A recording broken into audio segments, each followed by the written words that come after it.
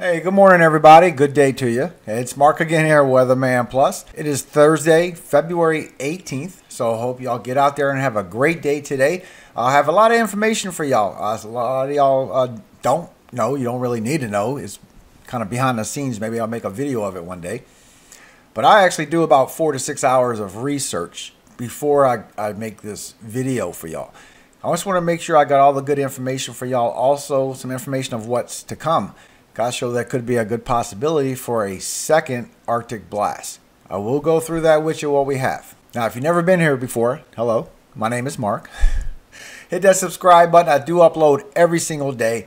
And if there's any serious changes within 12 hours of the video, I will make an update in the afternoon. It's just lately the information's been pretty spot on. Except for uh, Tennessee, their, their, their temperatures changed pretty drastic uh, yesterday, and they didn't see much snow. Uh, pretty much it, it come down for a lot of people, but it didn't stick. Thank you once again for all the wonderful blessings that all y'all gave for Texas in the comments. Y'all are an awesome community. I love y'all so much because I think it's making a difference. Also, Texas, uh, uh, I did check out the people that control y'all power companies. There's actually three different uh, power companies that controls the whole state.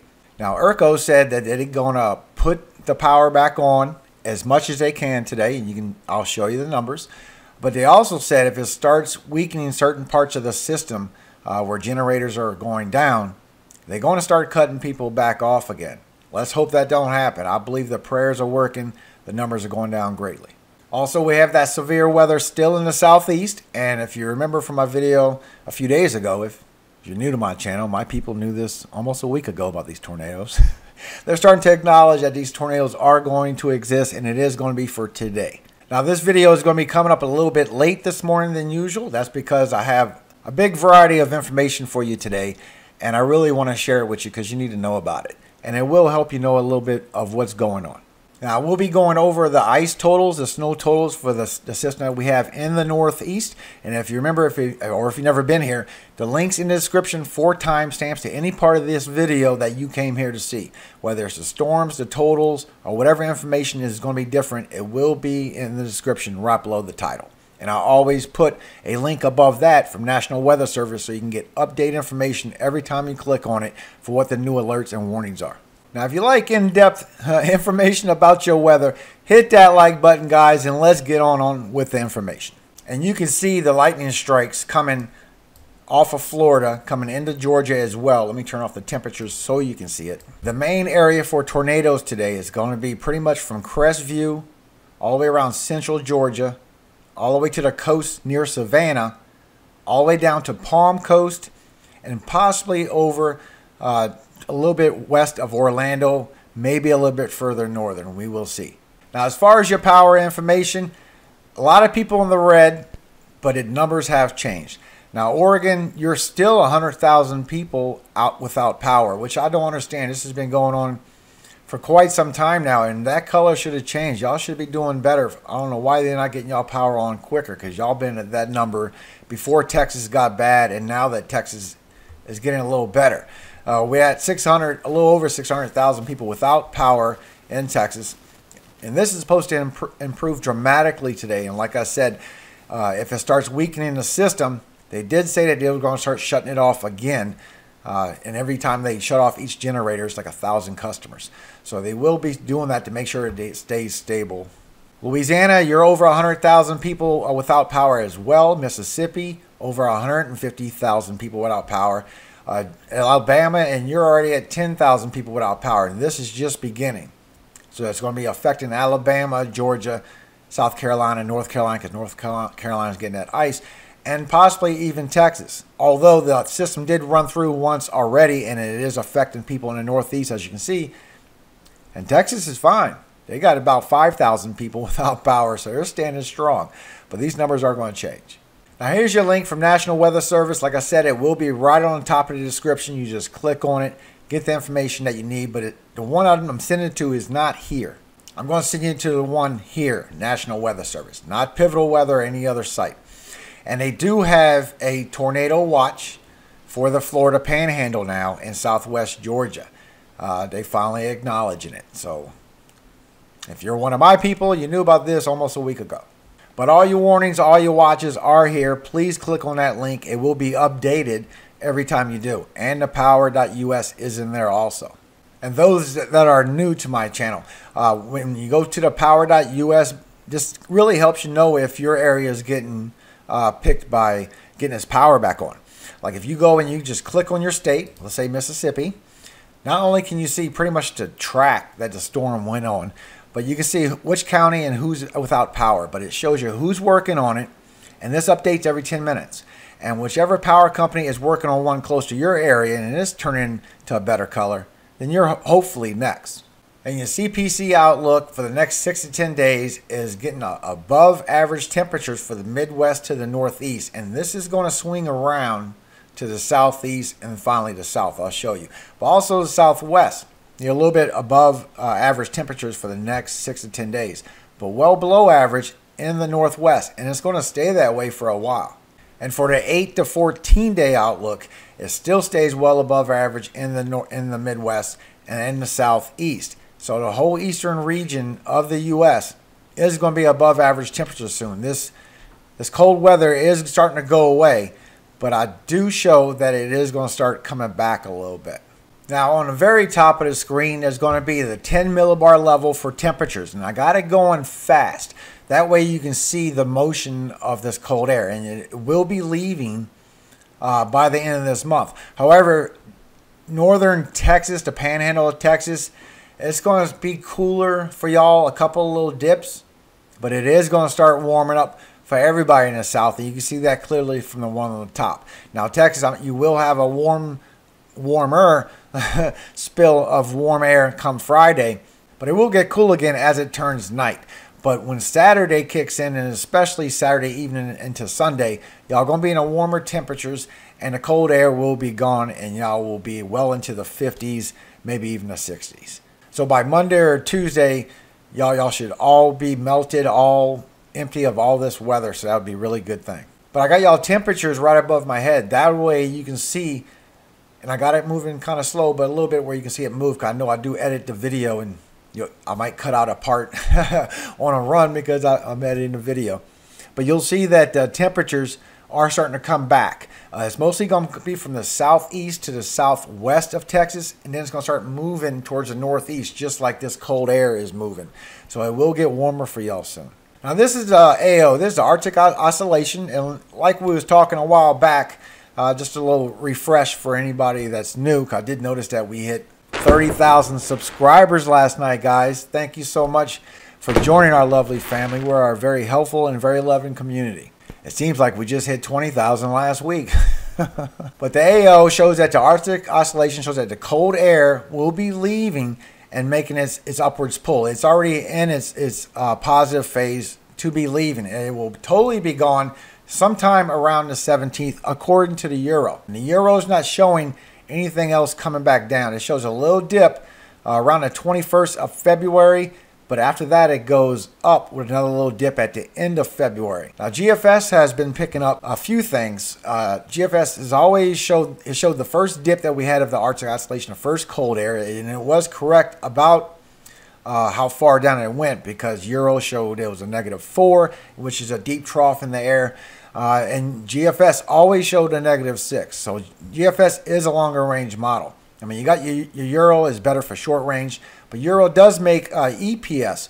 But Euro does make EPS, which is your ensemble prediction system that they made. And it was made by the European uh, Center, but it was made to get a, a better prediction forecast confidence in what's to come, which is funny because they kind of con- contradict themselves. The one that they built for that is more accurate than what Euro is showing according to what's trending. Uh, GFS has been showing for a while that by the beginning of March, the end of February, it will go into another negative phase, more cold air coming, and it's in between a negative one and a negative two. Now, neutral is right at the North Carolina line, just so people knows when you're talking about neutral phase, take North Carolina, the very top line, and go straight across the country. So a negative one to a negative two would be the top of Texas. Uh, like the really on the very edge of the panhandle, but it shouldn't be as bad uh, as this. Although there is one ensemble that does show that it does go to a negative five again, and that's the only one that's showing that, and it's not trending. But if y'all remember for hurricane season, when we had these hurricanes come into Gulf, the HWRF was the only model showing the intensity of Cat 4 and Cat 5 of some of these hurricanes, while the other ones were playing it down as a Cat 2. And it, it turned out to be uh, correct, and it was the only one that was correct. So don't give in to one of these ensembles uh, model runs uh, being so far fetched by itself. If you got that possibility, there is a possibility. However, I don't have a lot of confidence in this one model. But this is your average, is down to uh, almost a negative two is the average of all the ensemble runs. That's what this is here. And it, it could be some more cold air coming. Matter of fact, I think there is. Uh, Euro's not correct on that. Even Euro's uh, uh mid-range forecast uh, confidence system, the, the ensemble prediction system, it even shows that there's going to be a dip in the beginning of March that's going to be almost to a negative one. So even their own prediction system that they made to be better than just a regular European center, it's showing them wrong. So I do believe we will get more cold air. And it is trending. Even the GEFS is showing that right around the 28th, it's going to start dipping down into some cold air, and it will be around to about March 6th or 7th before it starts going back up. So it is trending that it is going to happen. And North Carolina, I did look. Uh, it gets way too warm, well above uh, freezing, all the way down to 900, almost 900 millibars, which is pretty low. Then it dramatically, with the cold air down below, freezes to like 30 degrees. I mean, it has good precipitation the whole time, so it will be uh, a heavy uh, freezing rain, but I do show that it will be freezing rain and not snow because it gets way too warm before uh, it goes to the ground. And it might bug you because if you look at your temperatures, you can see where the, the, the, precipitation is coming across, that it is 29, 30, 31 degrees and real quick to the 32. But there is freezing temperatures, so that's what's going to freeze it down to freezing rain. I don't see the temperatures uh, being ice because it only goes down to a 29 or 30. So it's really on the edge. It really needs to be a little bit lower and, and enough time to freeze into ice. I believe that will be freezing rain. Uh, let me show you the temperatures up up and up aloft. And you can see it here on the 850 millibar level that you still have warm air uh, at 3,000 to 5,000 feet, keeping this very warm before it comes to the ground. So that's why it's coming down as freezing rain. Now, as we get into the 18Z, which is right around 1 p.m. Eastern Time, it, it begins to get a surface low pressure. This upper level low on the East Coast that's bringing all this precipitation from the Atlantic, plus the moisture coming from this from the Gulf up the southeast, is really feeding a lot of freezing rain uh, to, to Virginia and North Carolina, uh, also uh, Delaware, southeast Maryland, the, the mid Atlantic. But you're getting snowfall for the northeast but it's switching energies back and forth amongst these two uh, upper level lows. And when the surface uh, low pressure comes this afternoon, right around 1 p.m. Eastern time, I say from noon uh, to 1, maybe even 11 uh, this morning, it starts getting energy and it becomes that tornado threat for you guys. And you will get a few flakes rolling across the south. Uh, northern Louisiana, you may see some flakes. Also, northern Mississippi and central Tennessee. You will see some flakes, and it might be some, some slight accumulation. But southwest Texas, I'm showing you still getting that snowfall. It won't be as heavy, but it will be pockets where it's heavier than other counties. Now, when you look into the CAPE values, and I moved the date to the very top for you guys uh, so I can get it close in shot for you guys you can see the energy coming off uh, of the dew points very warm. Uh, warm, warm water uh, and warm air uh, creates convection. It creates lift. So all this lift coming in with these with these winds is going to create some rotation, and you will start getting possibilities for for tornadoes. I do expect uh, a good spot for tornadoes would be South Georgia and and North uh, Florida. I've been showing that has been trending for almost a week now. But to pinpoint it a little bit, you can see the CAPE values rise up, especially for Central Georgia, and it, it does begin off as a weak supercell. I don't see the uh, hail yet, but I do show that some big hail is possible out of these tornadoes and of these, these storms in the southeast. It's going to get a little bit rough. You're in marginal for tornado at this time, Uh, I'll show you exactly where you at, but there is starting to get weak. It's not really showing a good supercell. But in this county, right around here for, for southeast Georgia, it's been showing this for a while. And as you go a little bit southern into Georgia, not far, I mean, the whole area is, is hyperactive for convection. It starts getting almost an inch of hail coming out of this uh, these tornadoes, uh, these systems. And on this one, I'm, I'm picking this up.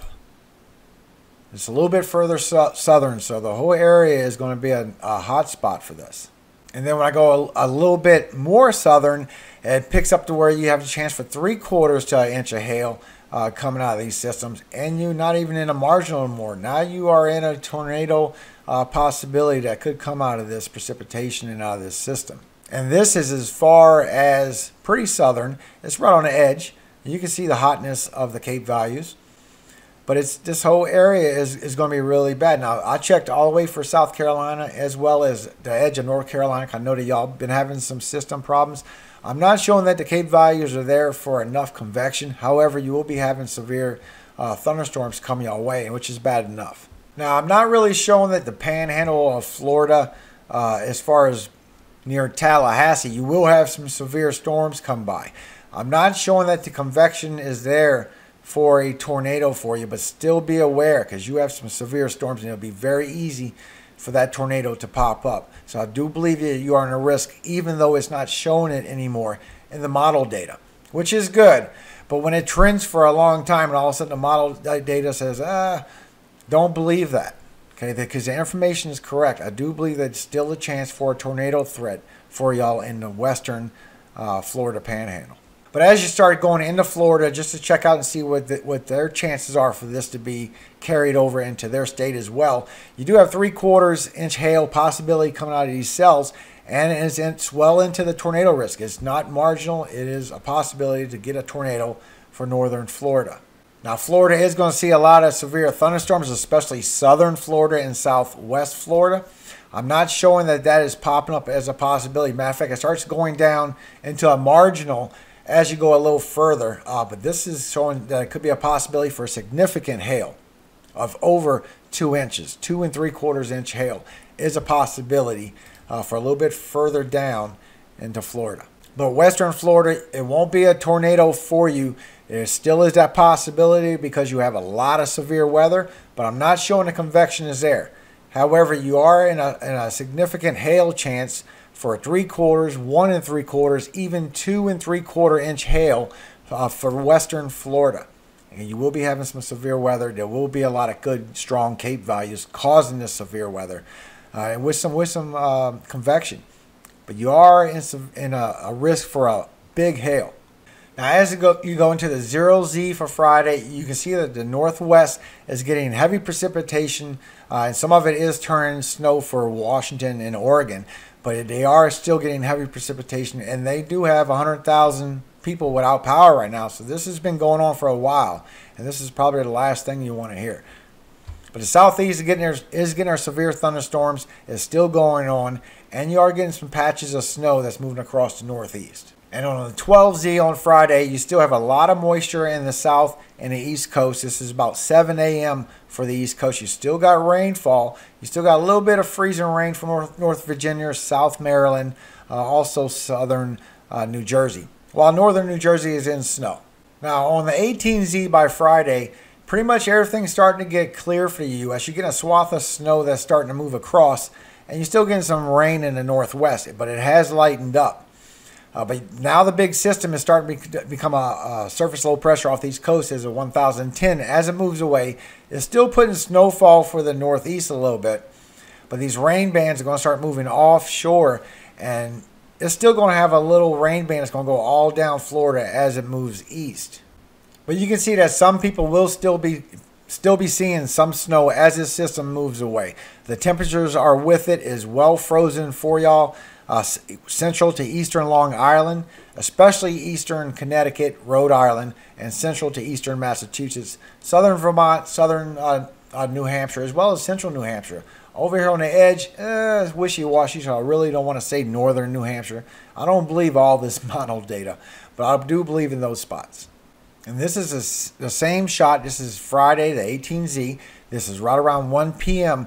Uh, for y'all. But you can see that this still has convection in these severe storms as they move down Florida. They will be moving east, but they're still going to go down Florida. These are very long rain bands.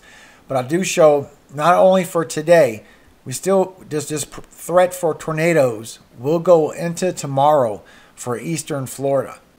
On the far east of Florida, I'm not showing that it has any significant hail, but you are in a marginal risk uh, for tornadoes, and that's for uh, eastern, northeastern. Now, by Sunday, this is a 18Z. This is right around 1 p.m. This is actually noontime uh, Central Time, 1 p.m. Eastern. But we do have a surface low pressure that builds up out of this energy coming across the Pacific Northwest, and it will become a, uh, uh, a surface low pressure. It's uh, showing an upper level low. It will strengthen. But right now we have temperature battle because this is 1 p.m. and it's going daytime heating still. But as it moves, it's going to be chasing uh, temperatures dropping going into the night. And you can see here how close your temperatures are. Not only is it Sunday now, Saturday into Sunday, Texas. Look, you're in 50, 60 degrees. You're, you're warming up well, as well as Louisiana, Mississippi, the whole South. It is changing uh, the temperature change. So you are going to be warming up. That's a good thing. Uh, even that happened by Saturday.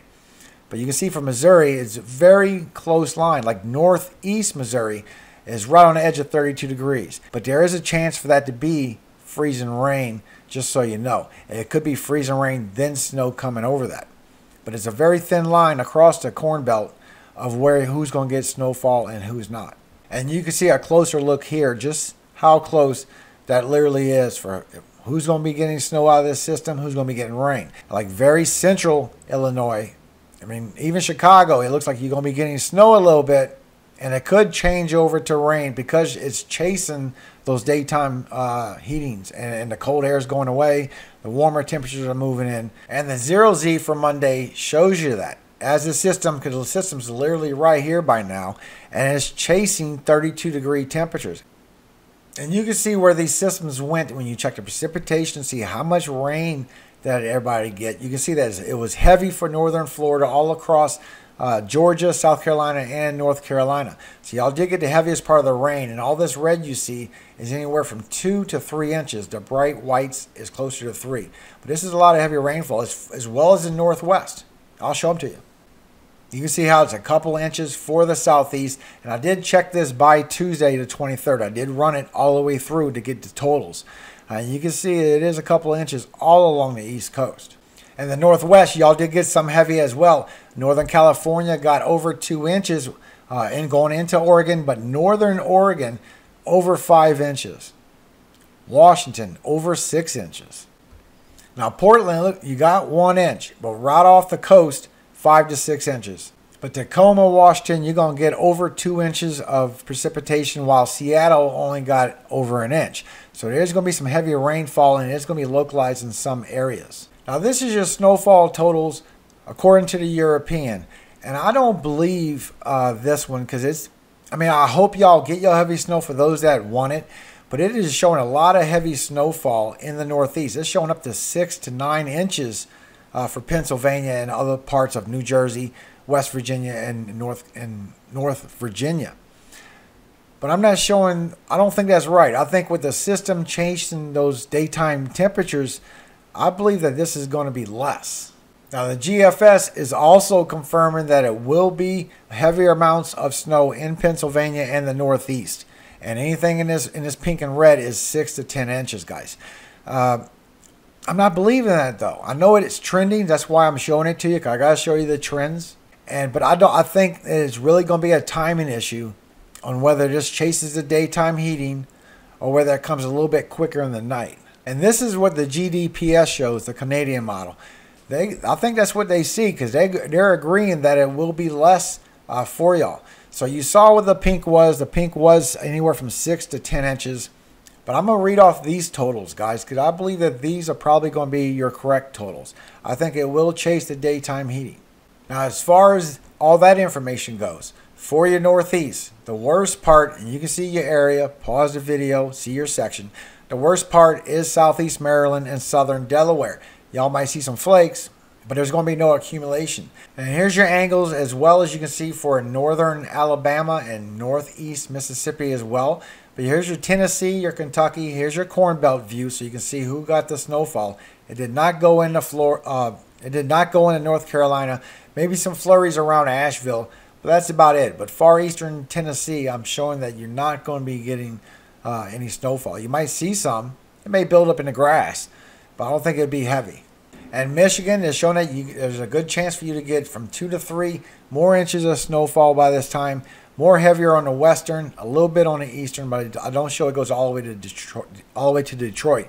But Ohio, northeast, central to northeast, right above uh, Dayton, central to northeast is where it's going to be the heaviest for yours, from it's three to five inches.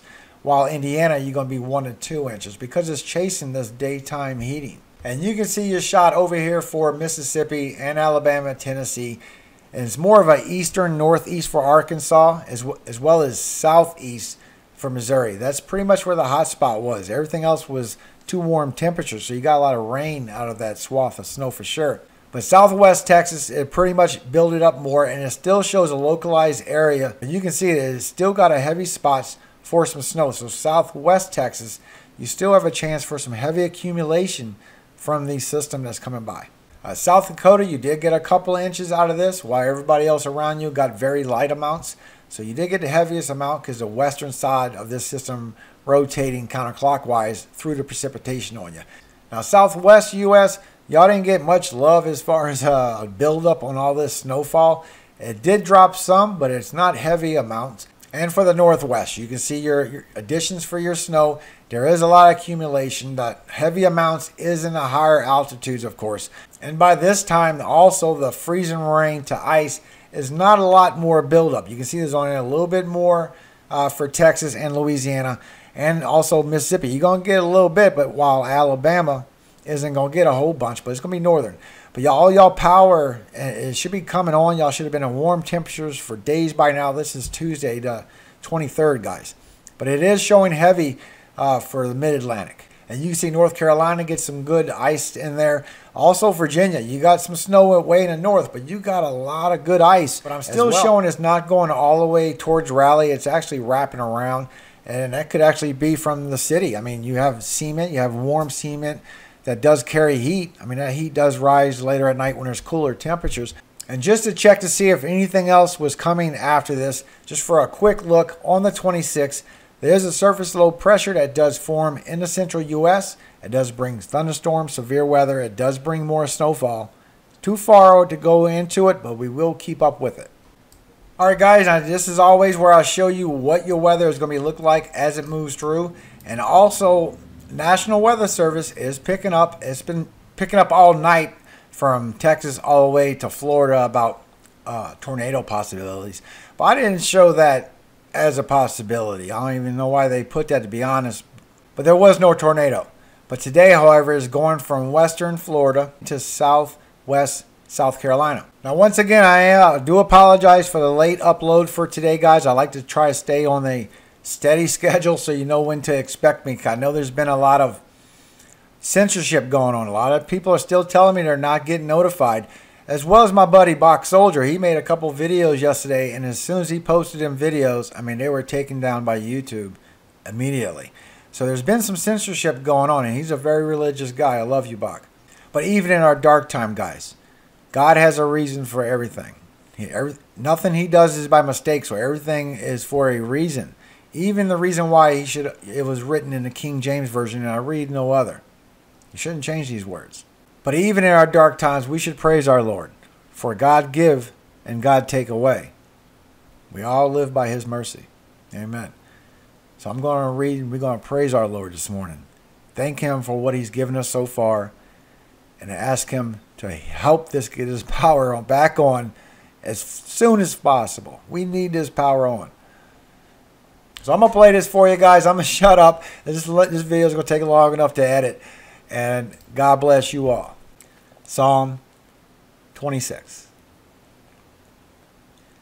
Judge me, O Lord, for I have walked in mine integrity. I have trusted also in the Lord. Therefore I shall not slide. Examine me, O Lord, and prove me. Try my reins and my heart. For thy loving kindness is before mine eyes, and I have walked in thy truth. I have not sat with vain persons, neither will I go in with dissemblers.